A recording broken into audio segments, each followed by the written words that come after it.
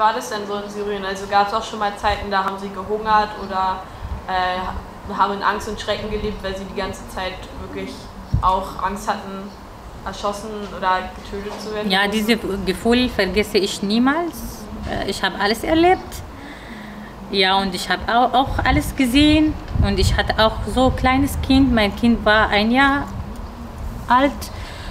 Und er konnte äh, manchmal äh, gar nicht schlafen wegen dieser Bombe und so. Dieses Gefühl bleibt drin, was wir schon erlebt haben. Ja, das vergessen wir niemals. Wir, ich glaube, wir haben bis jetzt Angst, wenn wir so etwas hören, so äh, wie, ja, oder so. ja, zum Beispiel Feuerwehr. Und das ist ja auch in der Nähe wahrscheinlich. Ja, wir, wir machen plötzlich so. Ging es Ihnen dann, als Sie in Deutschland angekommen sind? Oh, das war am Anfang zu schwer,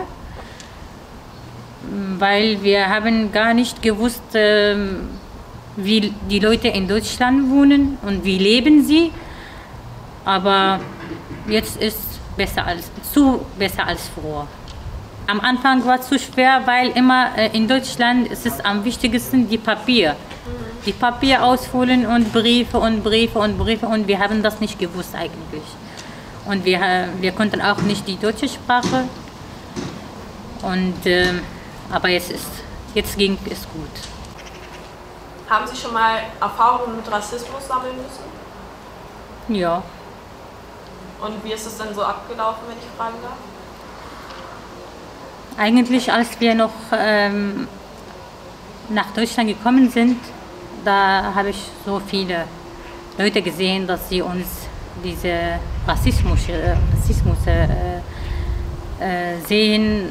Aber ich habe nicht gewusst, warum, weil wir auch Menschen sind.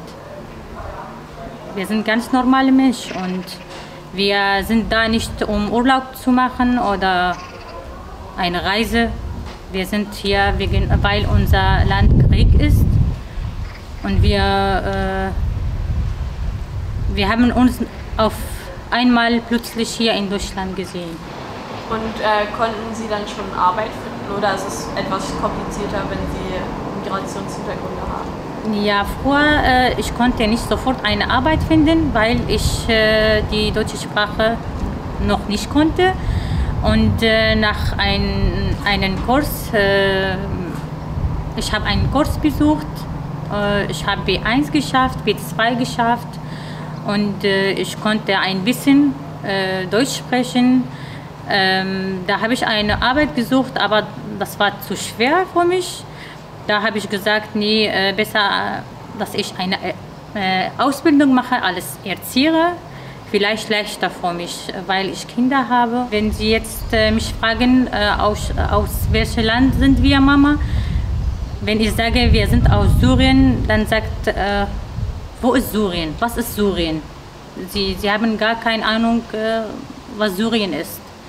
Sie haben sich plötzlich in Deutschland, dass sie in Deutschland wohnen und sie haben deutsche Freunde und sie äh, in der Schule oder im Kindergarten mit Deutschen sind.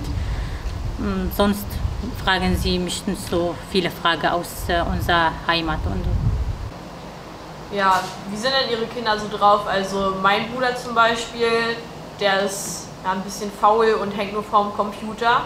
Ähm, wie ist es so bei Ihnen? Nein, ist ganz anders. Der Große, er macht alles Hausaufgabe, obwohl er in Hort die Hausaufgabe fertig macht. Aber wenn er nach Hause kommt, macht er wieder. Und ähm, Handy, ähm, sie, sie dürfen keine Handy schauen und auch ähm, nicht Laptop oder Computer. RE Nur eine Stunde Fernsehen sehen und ein bisschen spielen und danach ist Schluss. Fällt heute aus. Grund dafür sind Streikauswirkungen. Wir bitten um Entschuldigung.